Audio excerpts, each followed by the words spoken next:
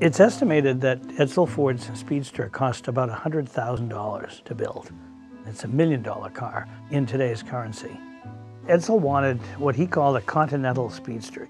The car had to have a lower, sleeker silhouette than a standard sedan or coupe. In order to have a very racy looking car, Bob Gregorie designed these valances to cover the wheels and to turn as the wheels turned. I would have to call this a very cozy, selfish little cockpit, very much like a race car. And in those days, the Indianapolis formula for racing cars were what they called two-man cars. The driver and the hapless riding mechanic. The instrument panel is beautiful, and the large tachometer, the big dial, is so when a driver looks down, he's not looking at a little instrument, he's looking at a fairly large one in order to see what the engine RPMs were.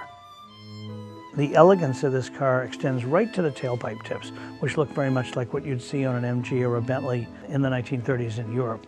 Here they are on an American car.